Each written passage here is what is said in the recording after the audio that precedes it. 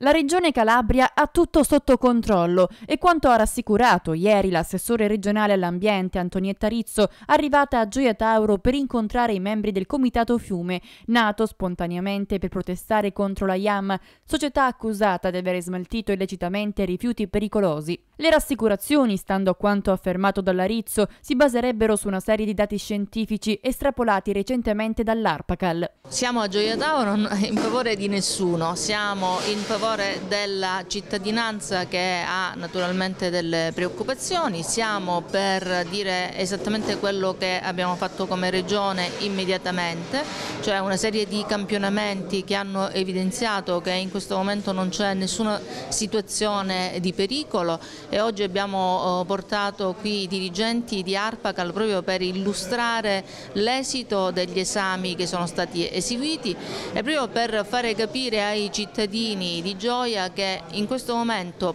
eh, secondo quello che eh, ci è stato detto da Arpacal, non c'è nessun pericolo per la salute riguardo naturalmente la eh, questione IAM e soprattutto che la Regione Calabria ha tutto sotto controllo, tutto monitorato, abbiamo iniziato anche un monitoraggio delle aste fluviali per avere gli esiti chimico-fisici delle acque che sono già sul nostro sito del della Regione Calabria, quindi sono accessibili a tutti.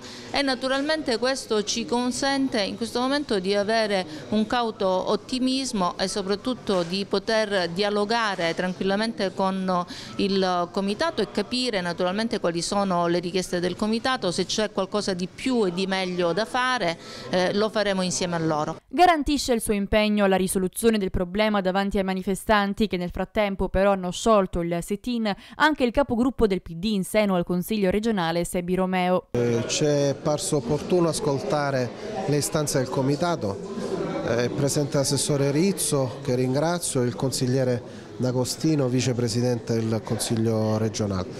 Li ascolteremo, è una questione di alta sensibilità ambientale. Eh, le risposte saranno date sulla base dei dati che l'ARPACAL ci fornisce. Noi non siamo né per fare allarmismi né per non chiarire le cose. La chiarezza fondata sui dati scientifici aiuterà la comunità a stare tranquilla.